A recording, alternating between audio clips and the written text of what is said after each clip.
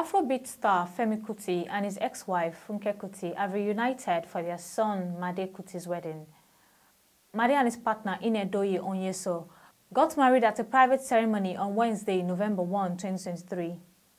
The couple exchanged their marital vows in front of their family and friends. Femi, who rocked a matching outfit with Funke, posted a video of himself and his ex-wife on Instagram with their son who was dressed in an all-white attire. Captioning the video, the 61-year-old wrote, father of the groom and mother of the groom. In one of the videos, Funke joked about Made getting his romantic nature from her while Femi smiled at her. The wedding ceremony was attended by Yeni Kuti, Buturanyo Kuti and other members of the Kuti family. Actress Kate Henshaw was also present at the event.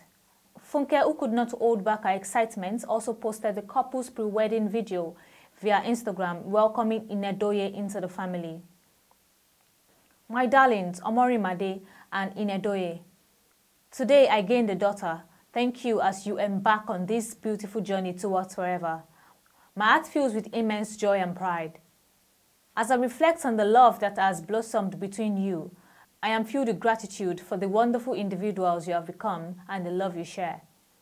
May your love always be the guiding light that illuminates your path even during the darkest of times.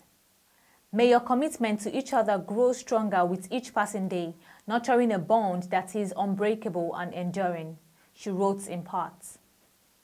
Although Femi and Funke are separated, they remain very good friends, and she is a regular face at the New Africa Shrine, where the former and their son play.